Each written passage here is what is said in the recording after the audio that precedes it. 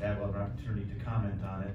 We'll look at the, the, the figures, the percentages. I believe last time, most projects got around a sixty to seventy percent support ratio from the, um, uh, from the survey, and then from that, we will decide as to what we will go forward with and how we will, um, um, structure it. There could be a couple of things that get structured as one question, whether that be a couple of infrastructure projects, um, the roofs and the HVAC, and a couple of things could be lumped into one. Um, but again, we're gonna take all the different feedbacks from,